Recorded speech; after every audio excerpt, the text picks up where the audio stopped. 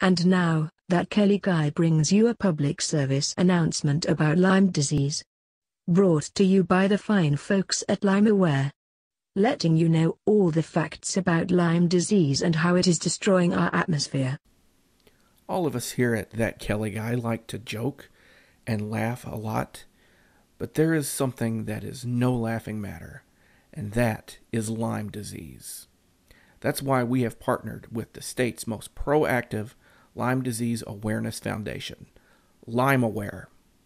I personally have been to several cities passing out literature on Lyme disease, what happens when you get it, how you get it, how to get rid of it. And I have to admit, the people in Carson City, Nevada, were not very kind to me. I got quite a few dirty looks and some rude gestures. Very rude. But the gesture I'm trying to make is not rude. I'm trying to let you know that if you are bitten by a deer tick, don't stay at home and play checkers, or if you're smart, play chess. Go to the doctor. Get checked out.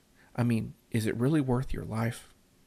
Our slogan here at That Kelly Guy in Lyme Aware is if you're bitten by a tick, go see the doctor quick. Now I know what you're thinking. I'm never going to get Lyme disease. Well, you got me there. You probably won't, but you might. I mean, look at you sitting there in your sunglasses and your smoking jacket, drinking a nice warm glass of prune juice. You think you're just on top of the world, don't you? Well, let me tell you something. Those deer ticks, they move silent and quick, like Oliver Twist. And before you know it, boom. They got their head buried right in your skin. When I was in the third grade, I got a tick in my right ear, in the bottom. What was the first thing my grandmother said when she saw the tick? I hope you don't get Lyme disease. You guessed it. You may remember something on the computer, something called LimeWire. Remember that? Well, they shut that down. You know why? It was giving viruses to computers. What kind of viruses do you ask?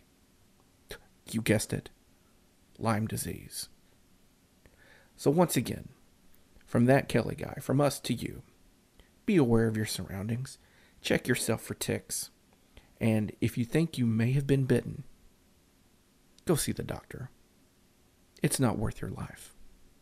This has been a public service announcement. If this has offended you in some way, then we suggest that you reach back, grab the pole that is sticking up your rear end, and pull it out. If you have actually had Lyme disease and you are now thinking, hey, that's not funny, then you might also have lemon disease, because now you're being a sourpuss. It could have been a lot worse, you know. It could have been about blind kittens, or little kids with worms coming out of their bee holes. Okay then. Bye bye now. Uh,